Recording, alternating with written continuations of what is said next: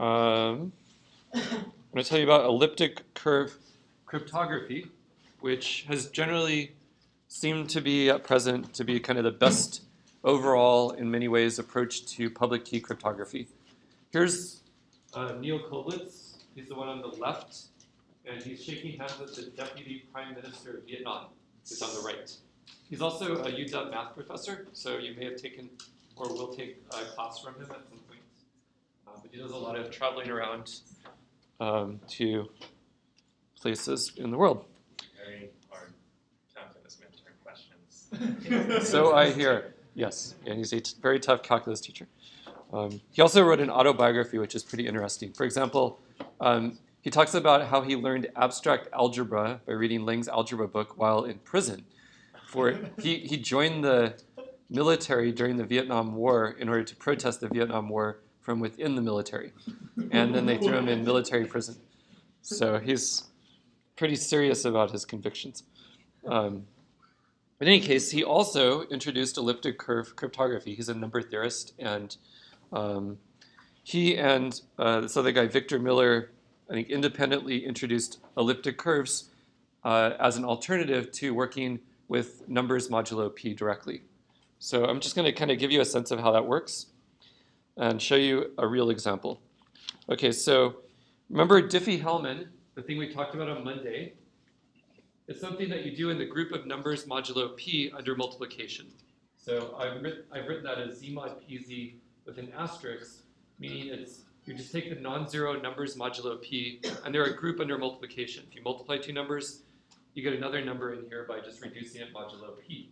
And there's inverses. Um, given any number, there's an inverse modulo p. That is some other number you can multiply it by so that you get 1. Um, that's the case, by the way, if and only if p is a prime number. Um, well, or 1. So if and only if either p is prime or 1, will z mod pz star be a... Actually, no, z, z mod pz star is always a group, but the non... But I don't want to get into that. Okay, so um, here's how it works. Very succinctly, you choose an element in the group z mod pz star. Two um, computers or people or whatever that want to share a secret, they want to publicly come up with a shared secret. They generate random numbers a and b, and they send each other g to the a and g to the b, and then they can both compute the shared secret g to the ab. So this is a super powerful crypto system. It allows the public to agree on a shared secret, and it's really, really simple. I mean, it's just, just that's it. You, you kind of understand it, right? I hope. At this point. Um, now here's the idea. You can change. You can replace h. It doesn't have to be the non-zero numbers modulo p under multiplication. You can also. Here, look at that. It doesn't flicker here. You can also use. You can use any multiplicative group at all. Just take an element of a multiplicative group, your favorite group, like I don't know, the symmetric group or something, and then choose an element and then generate two random numbers, raise them to powers, and you get a shared secret. Symmetric group would be really bad because um, the shared secret would be enormous. But if you can find some group where this makes sense, you can use it. And there are lots and lots of different possibilities. Here's an example of one that, um, well, actually, sorry, let me abstract a little more first before showing you a bad example. Another thing you could do is instead of using a multiplicative group where you write things as multiplication, you can use an additive group. The only difference is that instead of writing uh, g times h, you write g plus h. So uh, as foreshadowing, because I'm going to talk about a particular class of additive groups, suppose you have an additive group E. Um, an example might be the integers under addition modulo P. Okay? The only difference between an additive and multiplicative group is just notation. There's no actual fundamental difference. Except typically additive groups are um, commutative in that you can add in either order. Uh, but here's how Diffie-Hellman would work in an additive group. You choose a, a specific choice of element P, you generate random numbers A and B and send each other A times P and B times P. By which I mean you add P to itself A times and you add B to itself P times. And then everybody sees A times P, everybody sees. And A, capital A, capital B, they can compute the shared secret, which is A times B times P. But it's difficult for everybody else to compute that shared secret because all everybody else knows is P and B times P and A times P. And it's hard to find, hopefully, P, uh, B given B times P and P. It depends on the group you're working in, of course. So here's an example of Diffie-Hellman in an additive group. And this is a bad example because in this group, it turns out it's easy to solve the discrete log problem. So let's take our group to be z mod pz under addition. So the elements of the group are the numbers from 0 up to p minus 1. And the operation of the group is you add together two numbers and then reduce modulo p. So uh, there we are. And now here's what happens when I use Diffie-Hellman in that group with um, a prime that has about 50 digits. So I let p be the next prime after 10 to the 50. Everybody sees that. I choose my base point, capital P, my generator to just be the number 1 modulo p. And then I choose two random numbers, a and b. So capital A would have chosen the first one, capital B chooses the second one. These are the two numbers that they make public, a times p and b times p. And then the shared secret, which they can compute, is a times b times p. And you can compute it either as a times bp or b times ap. And there it is. So that's their shared secret. They might think, oh, this is really fast and nice and simple. Um, but they're in trouble because look, well, look in a moment. look, if you have, let me just evaluate this so I can actually show you. The numbers are going to change because it's a new random number. Given AP and P, these are two numbers modulo, actually this is possibly shockingly easy. Um, so secretly, here's what A was. It's kind of easy to find A, isn't it, in this case? um, so I could have chosen P to at least not be 1. That would make it a little more um, difficult. Yeah, it's really obvious here. Let me make it a different random number. Um, okay, so my capital P is at least some other random number. But still, look, given AP and P, it's easy to find A. Watch. Um, here's what A really is. And then you can do this divides. And look, it found it. See? The very first line, let's do AP divided by P, and it can find it um, in 1.64 microseconds. So the discrete logarithm in the additive group of numbers modulo P turns out to be something you can trivially solve. And it just, um, the, the way you do that under the hood is using the Euclidean algorithm, which is has complexity uh, polynomial in the number of bits of the input. So it's super fast. So the additive group is no good, but as soon as you know Diffie-Hellman came out, certain people like Neil Koblitz and Victor Miller started thinking about, hey, what about my favorite abelian group? Maybe I could use it instead of the multiplicative group mod p. Um, and here is the favorite group of people that are number theorists, um, elliptic curve group. So here's an example of an elliptic curve. Notice it's a cubic, it's defined by a cubic equation. So, it, whoa, somebody just, why did you do that, Simon? Um, so it's defined by a cubic equation, y squared equals x cubed minus 3x plus b. So it's a curve in the sense that if you were to, say, plot the solutions to y squared equals x cubed minus 3x plus b, or some choice of b, in the plane, in the, like the real numbers, you'd see a curve. Okay, that's why it's called a curve. Well, one reason it's called a curve. Um, we'll view it just as the set of solutions, x, y, where x and y are numbers modulo p, so they're between 0 and p minus 1, and they satisfy the congruence y squared equals x cubed minus 3x plus b. Here, b is this big number, and p is that big number. Everything's modulo p, and there's formally one extra uh, point thrown into e, which we'll call the point infinity. The reason I chose these parameters is because this is what's called the NIST curve P192. NIST being the National Institute of Standards and Technology. And they have a list of recommended elliptic curves for use in cryptography. Um, and this is one of them. So here it is. This E is just a set of pairs x comma y of numbers modulo p, but it turns out, and it's really, really shockingly deep, that you can give E a structure of a abelian group. There's a way of taking two solutions to that equation and adding them together to get a third solution to that equation. And it's by no means obvious how to do this. It's, um, or it's actually relatively obvious how to do it, but it's not obvious that it gives you an abelian group, which is really strange.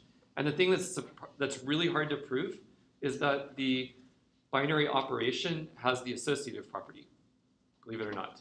It's usually when you are proving something's a group, that's not the hard thing to show. But it turns out the associative property is quite difficult to show.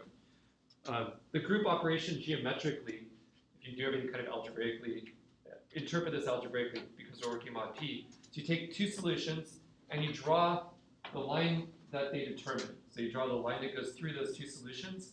Because that's a cubic equation, there'll be exactly one other solution that lies on that line. So you take the other solution and then you reflect it about the x-axis. And that's the group operation. You take two solutions, draw a line through them, you get the third point of intersection, reflect it about the x-axis. It turns out that gives you an abelian group that has the associative property, it's commutative obviously, and so on. Um, it's not, it has nothing to do with just adding points coordinate-wise, because that wouldn't give you something on the curve again. Okay, so there it is, that's the NIST curve, and now we're going to um, use it with Diffie-Hellman. So I've just written the same thing as above. And I've constructed this curve in Sage. Sage has a command elliptic curve, which by the way was in Sage and very, very well developed before there was a command integrate or differentiate or anything like that. Because um, Sage started out as a piece of software for number theory. Elliptic curves are really central in number theory. And then calculus functionality only got added later when um, Bobby Moretti who is a UW undergrad, wanted to do a project with me in like 2007. And he's like, oh, make Sage easy to use for calculus teachers. Here's another amazing thing. So this thing I just defined above, this set of points, you can compute the number of solutions to the equation y squared equals x cubed plus blah, blah, blah, modulo p, very, very quickly in just a matter of moments. The reason is because uh, there's a really surprising and really, really deep algorithm involving modular forms and so on that was uh, invented by the guy in the middle here. He's actually normal height, maybe a little taller than me, um, named uh, Rene Schoof. So he found an algorithm for computing the, the number of solutions to an elliptic curve equation, which is extremely efficient and surprising. And um, I asked him once, like, how, you know, what, how did he come up with it? And he said that Hendrik Lenstra was uh, saying that there was no way to do this, uh, to compute the number of points quickly. At least nobody knew how to do it. And so Rene was like, well, that's kind of weird. And he went home that night, basically was like, that can't be, that's just ridiculous. He's Dutch. And, um, and so he just sat down, and apparently that very night he came up with a polynomial time algorithm, which he could use to count the number of points on an elliptic curve. It took a lot of work by other people like um, Noam Elkies and Oliver Atkin to make that algorithm practical and efficient, but at least something that was polynomial time he came up with using some cool ideas. The basic idea is to count the number of solutions modulo a whole bunch of other primes and then use the Chinese remainder theorem. And to count the number of solutions mod other primes requires some like really surprising deep structure that um, you have on elliptic curves. Okay, so let's actually do it. Uh, apparently, what? Kind of spoiled it. So let me do it again. Because it caches it, so. Hmm, that's weird. It should take longer. I think. Maybe it is that fast. Okay, seems really fast. Uh, okay, it's really, really fast. I think. Um, okay, so there's a point that we have to choose as well. And here it is. This is again prescribed by this NIST standard. Um, you can use any elliptic curve you want and any point you want, but it's dangerous. Some elliptic curves re um, result in very bad cryptosystems. Here's the order of that point. It's the same as the order of the group, so it's a generator. The group itself has prime order, so that's not surprising. Notice I wrote is prime of R, where R is the order of the group E. All right, finally, um, let's actually use Diffie-Hellman. It's this simple. So generate two random numbers, a and b. So each of us do that. Then we compute a times p and b times p and make those uh, available to each other publicly. And then the secret is A times B times P, or B times A times P. They're the same. And in order to figure out the secret, an adversary has to take P and B times P and then somehow figure out what B is. And that's extremely hard to do as far as we know. In fact, there's lots of um, surprisingly efficient ways of attacking the Diffie-Hellman um, or discrete logarithm problem when you're working with um, Z PZ star, so the original scheme, um, using something called index calculus attacks. And uh, I don't know, they're really, really surprising approaches that are much better than you might expect. But as far as we know with elliptic curves, there aren't such approaches. So they seem to be really, really good. So that's it. That's what I wanted to tell you, and I did it in 20 minutes as claimed. Um, and I'll just kind of leave this up for a second and ask, are there any questions about public key crypto? Yes? Um, so is like the value part of like elliptic curve cryptography, like that elliptic curves are so hard to understand and therefore it's hard to crack the code, like compared Yeah. And it might not be that they're just hard to understand. They might be hard to understand in the sense that they're just fundamentally more complicated and there are no faster algorithms. But it turns out if you take um, the fastest known approach to breaking Diffie-Hellman for modulo a prime number p, so say p has 1024 bits, and you say, what's the fastest approach to breaking Diffie-Hellman? Then you compare that to what's the fastest approach to breaking Diffie-Hellman on an elliptic curve with 1024 bits.